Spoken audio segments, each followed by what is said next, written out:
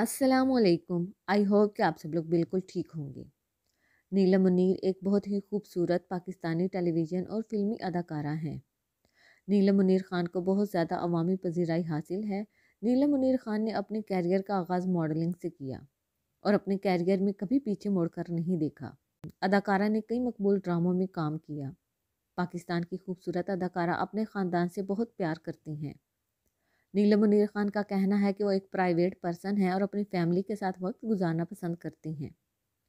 नीलम मुनीर खान की खूबसूरत बहनें और एक ख्याल रखने वाली माँ हैं और वो अक्सर अपने प्यारे ख़ानदान के साथ तस्वीर और वीडियो पोस्ट करती रहती हैं।